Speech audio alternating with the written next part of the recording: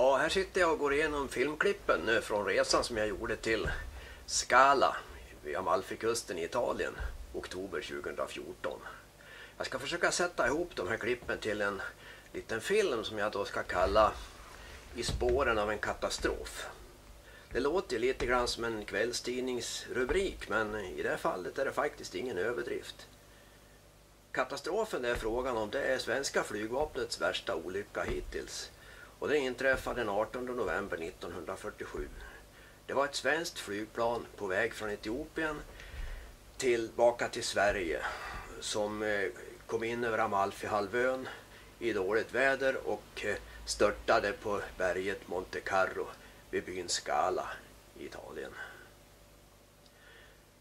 25 personer fanns ombord och 21 personer omkom. Och bland de omkomna fanns Einar Andersson från Morshyttan.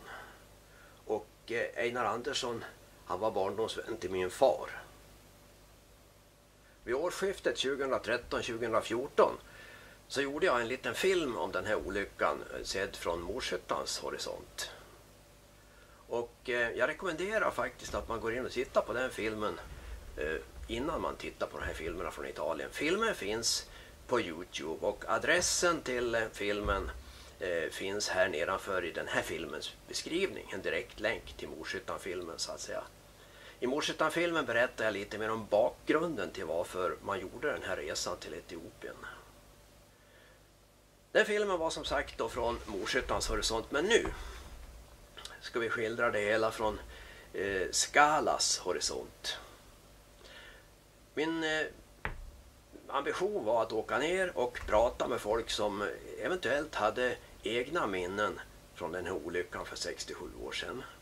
En annan målsättning var att ta mig upp på berget eh, Monte Carlo i bergskedjan Santa Maria dei Monti för att med egna ögon eh, se olycksplatsen.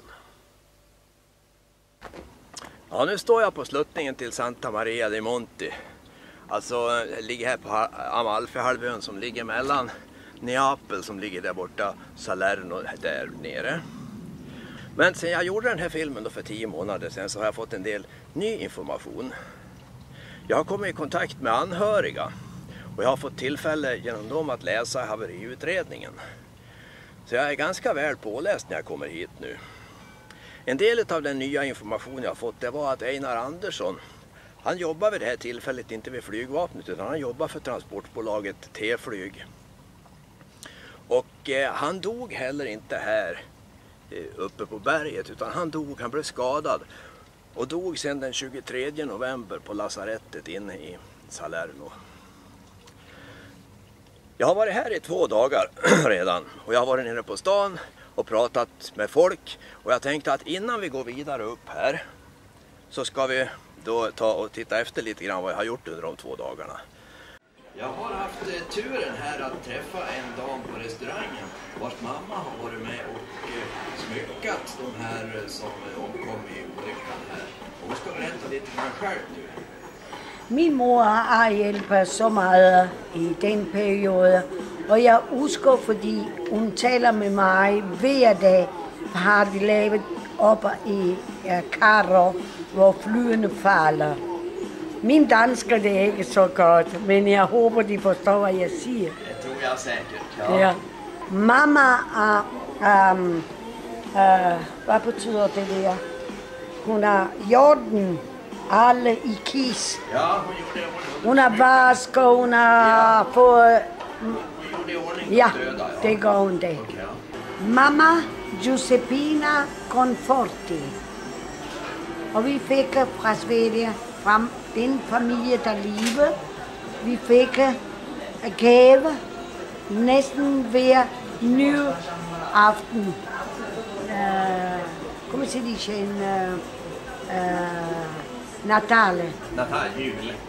Jul, Natale. Julaften. Julaften ja. Vi fik altid fra Sverige pak til, fordi vi var seks lille piger. Og det vil jeg gerne sige tak til mor, fordi jeg hjælper meget i den periode. This is my mother. This, Giuseppina.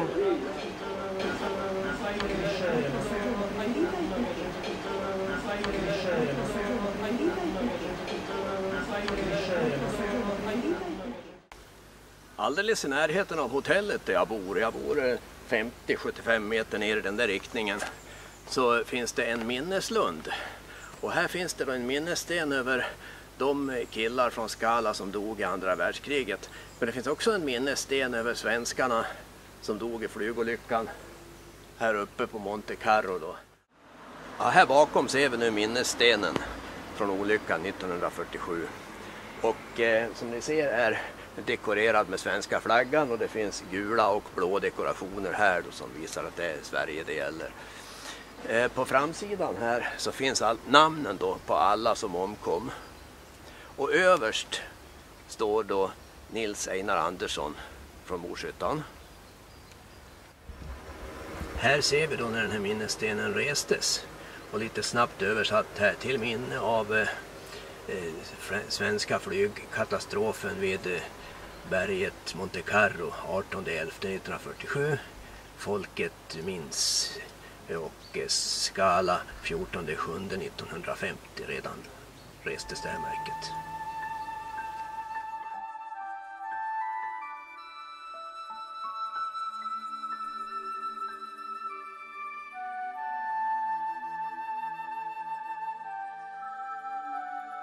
Mm-hmm.